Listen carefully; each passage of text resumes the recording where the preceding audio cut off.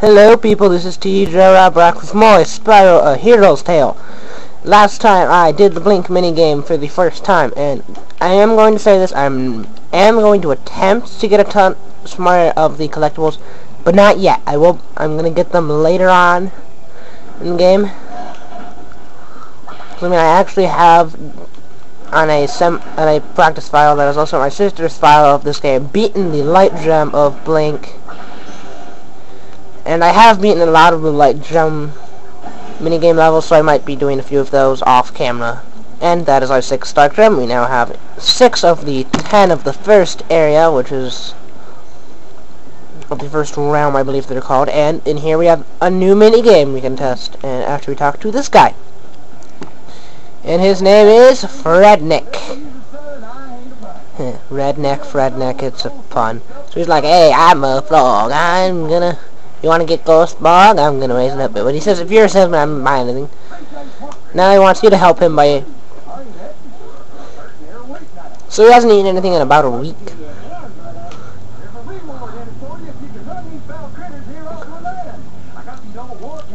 So we get to use wall cannons. roll. So let's get it. Sorry for a dragon egg, and I know I can beat this. And sorry if there's a glare on my screen, it's because it's sunny outside, and I tried to get as much some of the sun out. Okay, so basically, you press Y to fire the cannons, that is, and you move around with the control stick. That is about it. I don't like try to shoot things from far away. Try to just shoot them when they get up close. And that stupid dragon dog thing got one, and that is really bad because I already started this, and I already lost some food, which is bad because you don't want to lose food. I'm gonna lose a maximum of like three things of food, I believe. Now, just by having over, I lost all that food. Yeah, the bats are really obnoxious in this. And I'm back. Sorry for that cut there. My mom came home early, earlier than she was supposed to, so... Bats, bats, bats, bats, bats, bats, bats. I might actually fail this. I actually succeeded in doing this by practice for one, which is really weird. I usually am horrible at this minigame. It's actually a much harder version later on. Something impossible. That is really insane to do. Now I have more dog things that run around and do stuff.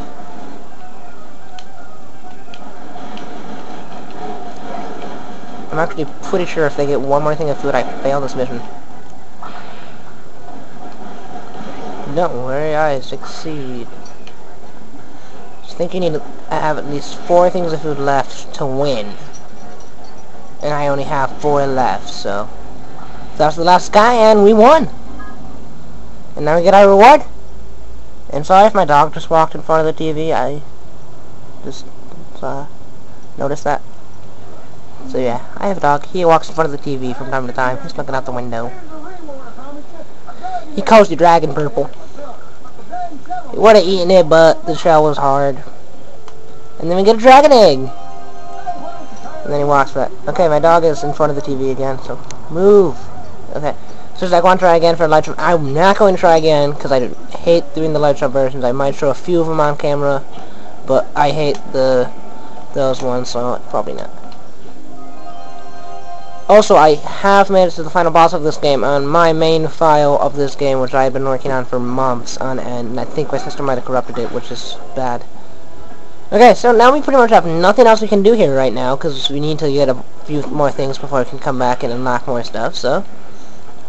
Okay, now I'm going to show off a cool little thing you can do with these. You can teleport using these things. They always cost 100 gems. These are the only items not affected by the teleport bonus things, and we can go here now besides it.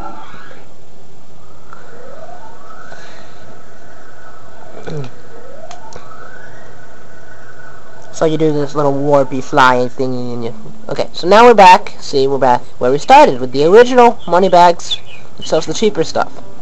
Now that we have actually 12 light gems, which is more than enough, we can come in here and activate the ball gadget, which is actually one of my favorite of the gadgets. Because it's not just, it's not really a power-up, it's more like a little thing you can use to get between areas. And then he makes the pun of ready to roll. Haha.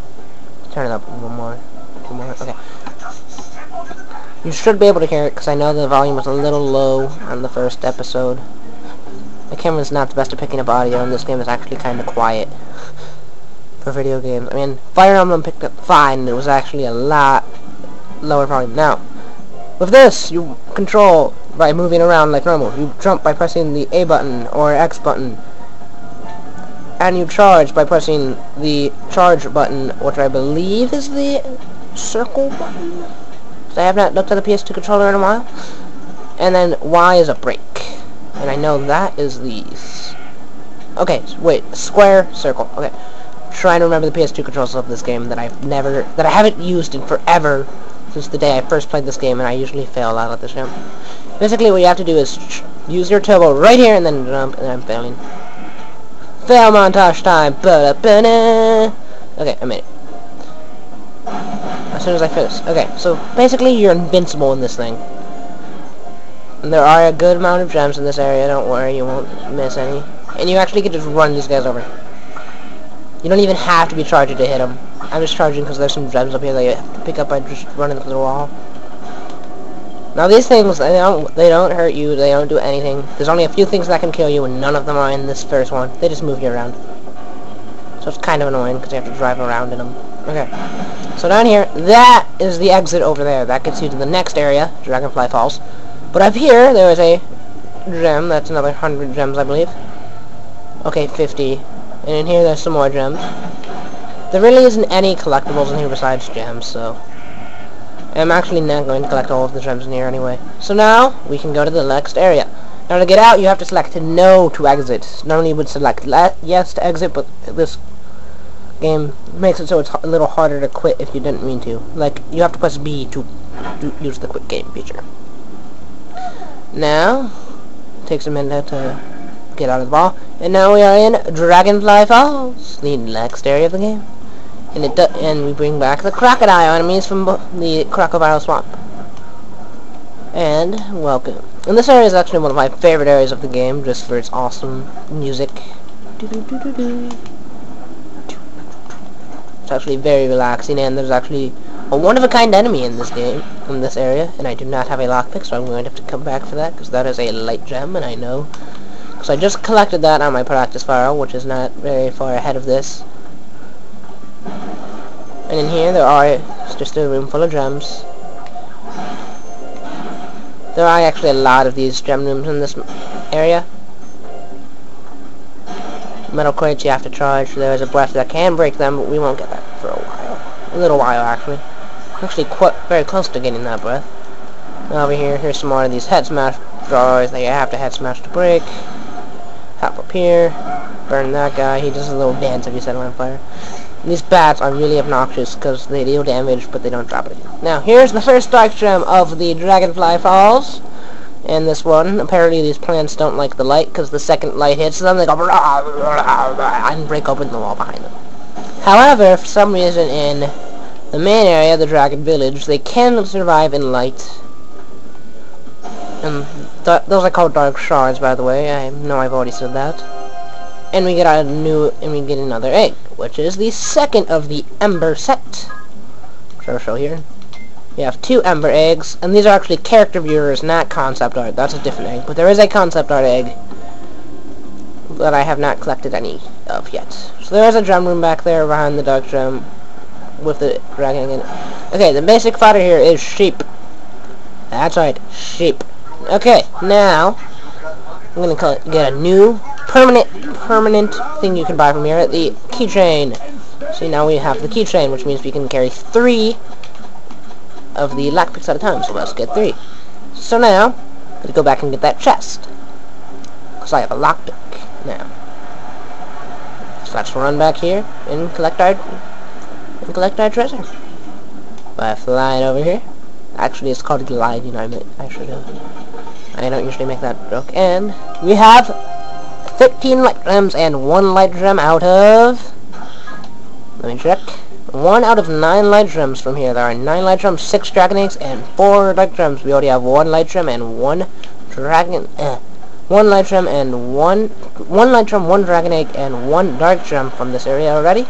So we're actually making some good progress. Now we're gonna come into this room, and this is the room with the one-of-a-kind enemy in it, right up here, past this guy, past the Moneybags, in here. Now, there are the goats.